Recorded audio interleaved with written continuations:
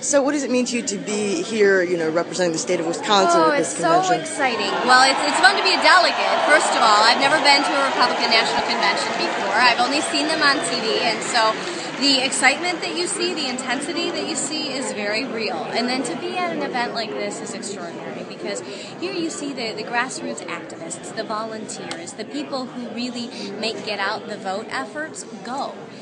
And to be able to thank a group of grassroots organizers, Tea Partiers like this is really wonderful because we just went through an incredible election cycle in Wisconsin with our recall election. a lot of these folks who made the trip to Wisconsin or at least made a phone call and said, hey, listen, this is really important to America.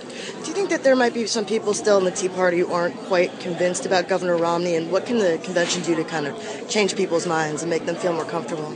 Well, I think the folks who are here are certainly on board with Governor Romney, but for those people people who don't fully understand. I think we've got a week right now, a moment with America watching where Governor Romney can really introduce himself to those folks who don't know him well. I think part of what Ann Romney will talk about is a little bit about his, his more human moments. You know, maybe joke a little bit and talk about how, you know, occasionally he'll burn a pancake or, you know, he's, he's not as good at some of the bicycling events in the Romney Family Olympics as he once was. You know, some of the things that they talked about on some of those TV interviews. But I think that's very important to people to know who the man is in addition to the candidate because it is wonderful to have the most extraordinary policies. But if you don't like the guy, it's different. Mitt Romney is a very likable man, and I think this week we will see many dimensions of the candidate. Thank you so much. Yeah, absolutely.